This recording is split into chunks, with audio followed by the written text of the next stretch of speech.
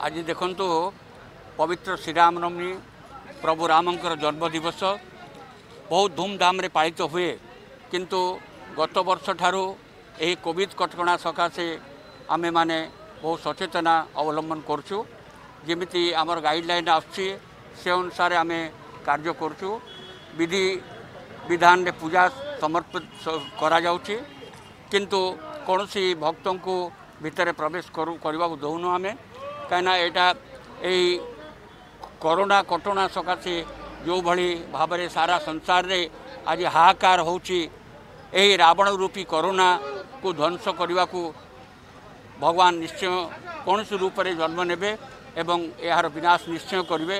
ଏହା ପ୍ରଭୁଙ୍କ ପାଖରେ କାମନା। ଯେଭଳି ଭାବରେ ତ୍ରେତା ଯୁଗରେ ଭକ୍ତମାନେ ସବୁ ଅତିଷ୍ଠ ହୋଇଗଲେ ରାବଣର ଅତ୍ୟାଚାରରେ ଏବଂ ସମସ୍ତେ ହୋମ ଯଜ୍ଞ କରି ପ୍ରଭୁଙ୍କୁ ଡାକିଲେ।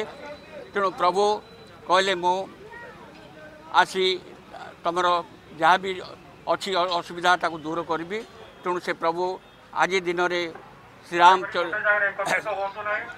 ଆଜି ଦିନରେ ପ୍ରଭୁ ଶ୍ରୀରାମଙ୍କ ଜନ୍ମ ହେଲା ଏବଂ ସେ ଯେତେ ରାକ୍ଷସ ଥିଲେ ସମସ୍ତଙ୍କୁ ସଂହାର କରି ଶେଷରେ ରାବଣକୁ ବଧ କଲେ। ଏଣୁ ଏହି କରୋନା ରୂପୀ ରାବଣକୁ ଧ୍ୱଂସ କରିବାକୁ ପ୍ରଭୁ ନିଶ୍ଚୟ କୌଣସି ରୂପରେ ଆସି ଏହାର ସମାଧାନ କରିବେ ଏହି ମୋର ଆଶା। ଆଉ ଶ୍ରୀରାମ ନବମୀ ଉପଲକ୍ଷେ ସମସ୍ତଙ୍କୁ ଅଭିନନ୍ଦନ। ସମସ୍ତେ ସୁଖରେ ରୁହନ୍ତୁ ଏହି କାମନା। ମନ୍ଦିର କାର୍ଯ୍ୟକ୍ରମ ବର୍ତ୍ତମାନ ସକାଳେ ସାଢ଼େ ପାଞ୍ଚଟା ସମୟରେ ମଙ୍ଗଳ ଆଳତୀ ଦର୍ଶନ ହୋଇଯାଇଛି ଏବଂ ସାତଟା ସମୟରେ ବର୍ତ୍ତମାନ ଶୃଙ୍ଗାର ଆଳତୀ ମଧ୍ୟ ଦର୍ଶନ ହୋଇଛି। ଏହାପରେ କ'ଣ କରୁଛି? ଆମର ଶ୍ରୀରାମଚରିତ ମାନସ ନବାନ୍ନ ପାରାୟଣ ଯେଉଁ ଚାଲିଥିଲା ସେଇଟାର ପରିସମାପନ ହେବ ନଅଟା ସମୟରେ ଏବଂ ଦଶଟା ସମୟରେ ହୋମଯଜ୍ଞ କାର୍ଯ୍ୟକ୍ରମ ଅଛି।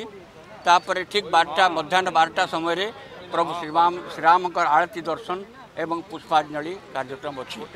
ଏହା ପାଇଁ ଆମେ ବିଶେଷ କିଛି କରିନାହୁଁ କିଛି ଫୁଲ ସଜା କରୁଛୁ ଠାକୁରଙ୍କ ପାଇଁ ଏବଂ କିଛିଟା ଲାଇଟ୍ ସଜା ମଧ୍ୟ ହେଇଛି।